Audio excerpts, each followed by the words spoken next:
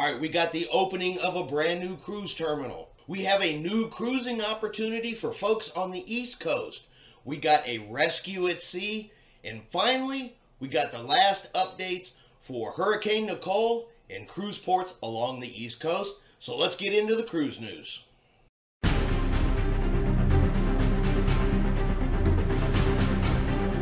Chris here with High Seas Cruising and welcome to today's video.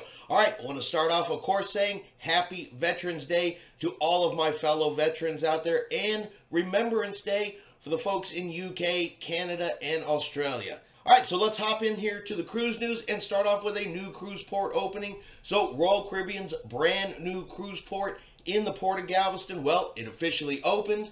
Allure of the Seas, the first Oasis class ship to ever sail out of Galveston, arrived this past Wednesday, loaded up her passengers, and is currently out sailing, which means more opportunities for cruises out of the port of Galveston. If you like to sail from that port, which I do, and we'll be on Allure of the Seas in January so I can check out the new port and of course check out my first Oasis class ship. Celebrity Cruise Lines. Now they have released some itineraries for 2024 and one of their exciting things that they did release is that the Celebrity Edge is going to be sailing from Seattle doing Alaska sailings in 2024. So if you're over on the East Coast, don't, you know, haven't had a chance to get over to Florida to sail on one of Celebrity's Edge class ships, the Celebrity Edge, like I said, will be sailing from Alaska in 2024. So it'll give people another opportunity to sail on celebrity class ships and one of their newer Edge class ships. Holland America's Rotterdam. Well, they rescued 14 refugees for some rough seas this past Wednesday.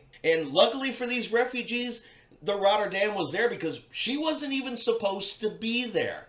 The Rotterdam had to stay out for an extra day due to Hurricane Nicole just happened to be in the area. Like I said, she wasn't scheduled to be there, was actually scheduled to be back in port.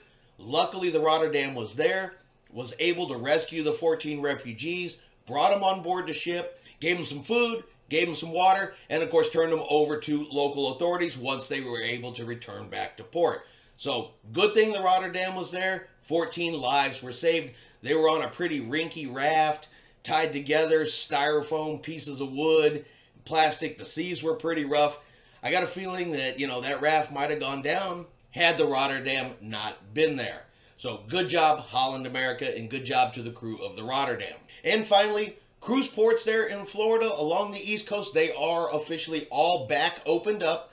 The cruise ships that have been delayed can now begin returning into port, disembarking their passengers, and embarking the next sailings. Now, keep in mind the majority of all of the next sailings, you know, through Miami, Fort Lauderdale, up to Jacksonville. You're going to see some delays. The cruise next, the next cruises have been shortened.